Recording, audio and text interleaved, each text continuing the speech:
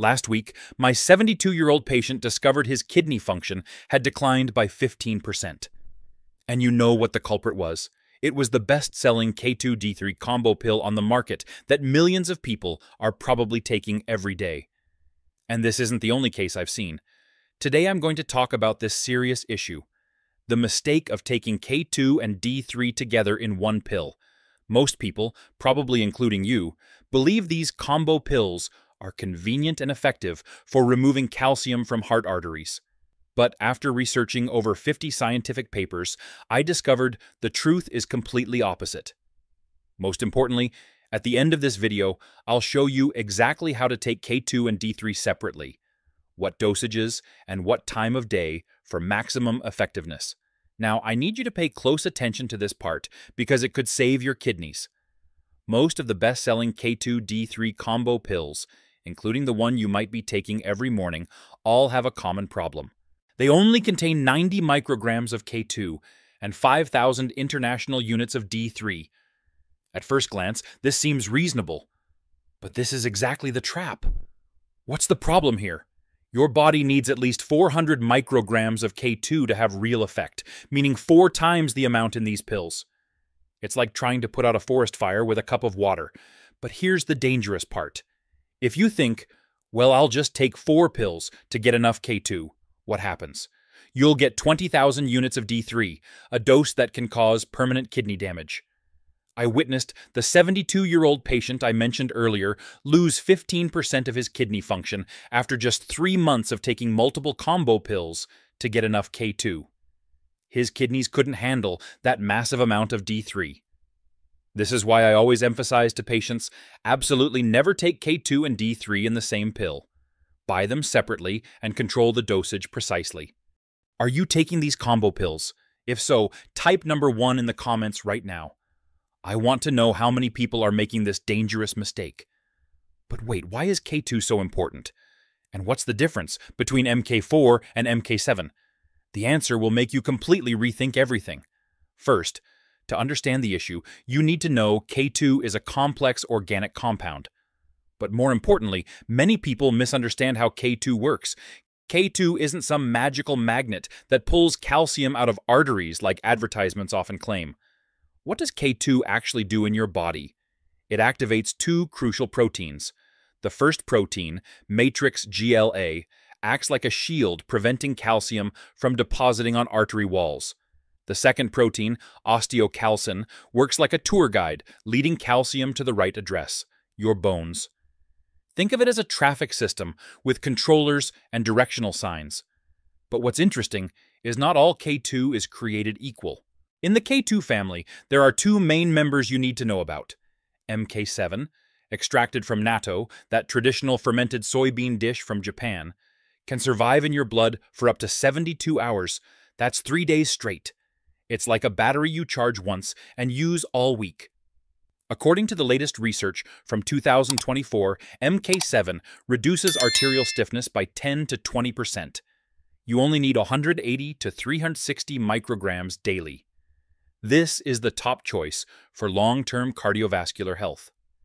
Meanwhile, MK4 from animal sources like eggs, cheese, and liver only lasts a few hours in your blood, like regular alkaline batteries, it needs constant replacing. To effectively treat osteoporosis, you need an extremely high dose, 45 milligrams. That's 100 times more than MK7. In terms of safety, K2 is considered extremely safe. Side effects are very rare and mild, like brief dizziness or slight nausea. For people with severe osteoporosis, the megadose of 45 milligrams of MK4 really does work. However, for coronary arteries, MK7 only helps slow the calcification process. It can't reverse calcium that's already deposited. So how does K2 protect your heart? The answer doesn't lie in removing calcium, but in a completely different mechanism that's even connected to the COVID pandemic from the past. This is the most important part that few people know about. Multiple studies have proven K2 significantly reduces heart disease risk. But it's not from removing calcium like everyone thinks. The secret lies in K2's ability to improve insulin resistance. insulin resistance is actually the number one silent killer causing heart attacks and strokes. While doctors and patients only worry about LDL cholesterol, prediabetes is quietly destroying your blood vessels. The numbers will surprise you. Just by supplementing 180 to 360 micrograms of K2 daily, your HOMA IR score can drop by 10 to 20%. HOMA IR measures insulin resistance much more accurately than standard fasting glucose. The result is a 30% reduction in cardiovascular risk for people with diabetes. This effectiveness surpasses many expensive medications. And here's the breakthrough discovery from 2025 following the pandemic. Scientists found K2 is also a powerful anti inflammatory warrior. During the COVID pandemic, people deficient in K2 had high risk of cytokine storm, that excessive inflammatory response that can be fatal. They were also prone to cardiovascular complications after COVID and long COVID syndrome, with lingering symptoms like chronic fatigue, shortness of breath, and brain fog. Newly published research shows combining K2, especially MK7, with D3 reduces long COVID symptoms by 20 to 30 percent. MK7 from natto doesn't just protect your heart, it also reduces brain inflammation and strengthens your immune system. When K2 simultaneously improves insulin and reduces systemic inflammation, you get comprehensive protection, healthier cardiovascular system with less plaque buildup, sharper brain thanks to reduced brain inflammation, strong immune system fighting viruses effectively, abundant energy throughout the day. This is why K2 is dubbed the supplement of the post-pandemic decade. But how do you get enough K2? Can everyday foods provide enough? K2 exists mainly in animal foods, like fresh beef liver, aged hard cheeses, and egg yolks. You'll also find K2 in fermented foods, like Japanese natto or German sauerkraut. As we've analyzed, MK7 from natto is optimal for cardiovascular health, while MK4 from animal sources suits bones. But there's a big problem few people realize. To achieve the 180 to 360 micrograms of K2, your body needs daily. You'd have to consume 8 to 10 egg yolks, or nearly half a pound of fresh beef liver, or about 3 ounces of natto. Can you maintain this diet every day? The reality is no, especially with natto, which many Westerners describe as smelling and tasting like slimy soybeans mixed with spoiled cheese. This is why most of us need K2 supplements. If you're still watching at this point, comment your city or country name. Support from around the world is a huge motivation, helping us continue sharing valuable health knowledge every day. Now let's move on to vitamin D3. Nearly half the global population is deficient in this essential vitamin, and older adults are even more severely deficient for a special reason. D3 actually isn't an ordinary vitamin, but functions like a hormone in your body. This is extremely important because hormones are stored in fat tissue, meaning D3 can accumulate to toxic levels if you overdose. The ideal D3 blood level ranges from 50 to 90 nanograms per milliliter. This is the safe zone for most effective cardiovascular disease prevention. The safe recommended dose for most people is 5,000 international units daily. However, there's a common misconception I must clarify. Many people believe sun exposure is enough to synthesize D3. This is completely wrong for older adults. After 60 years old, your skin only produces 25% of the vitamin D compared to age 20.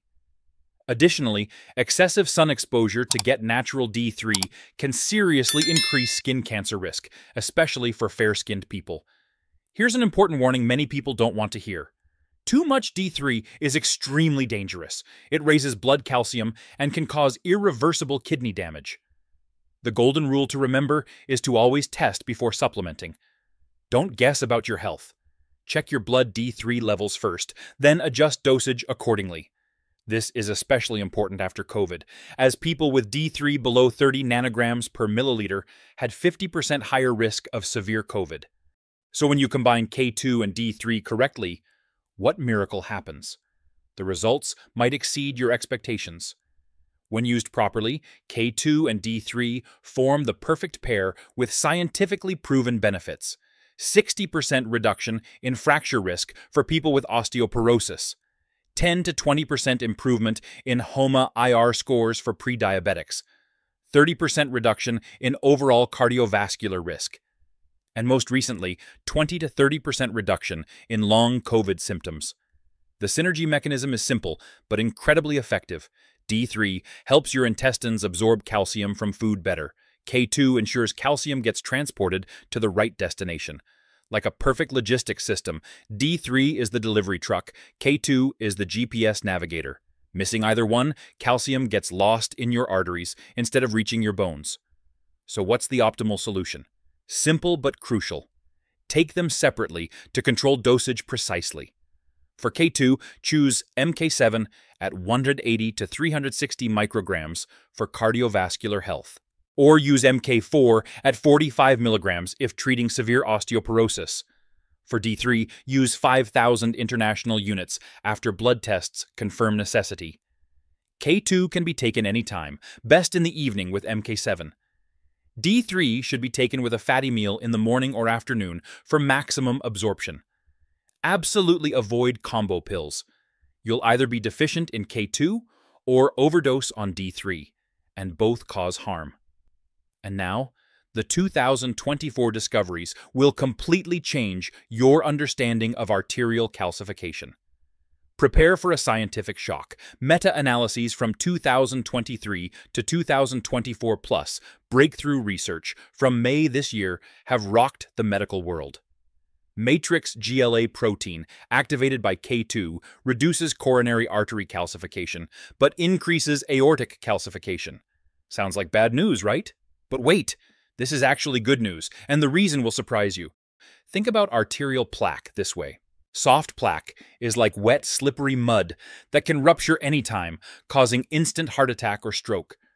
Calcified plaque is like solid concrete, stable, and much less dangerous.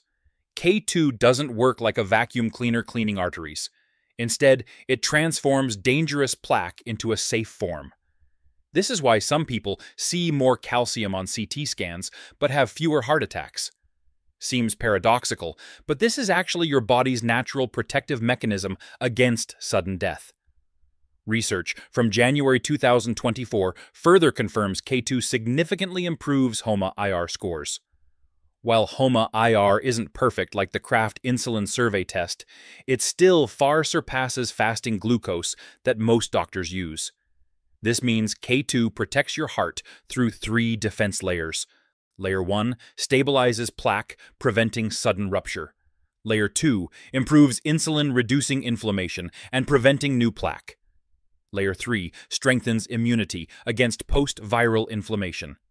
Through everything we've just shared, it's clear K2 and D3 are both extremely important, especially in the post-COVID era. But absolutely never take them together in one pill. Remember, supplements are just support tools. They never replace a healthy lifestyle. You can't use supplements to compensate for a poor diet. You can't use stents or jogging to erase damage from bad foods. Diet is always king. Especially after 60 years old, maintaining muscle and reducing excess fat becomes even more crucial. I really want to know what surprised you most in this video. Was it the difference between MK4 and MK7, or the COVID connection that few people know about, or the truth about calcified plaque? Let me know in the comments below. If you found this video helpful, don't forget to like and share with your loved ones. Support us by subscribing to the channel and don't forget to ring the notification bell so you don't miss important health videos we share daily. And especially in the description below, we've prepared a list of extremely important videos about how to use vitamin D3, K2, and magnesium safely and most effectively. Watch them now for a complete picture of proper supplementation. Thank you for watching, and I'll see you in the next video.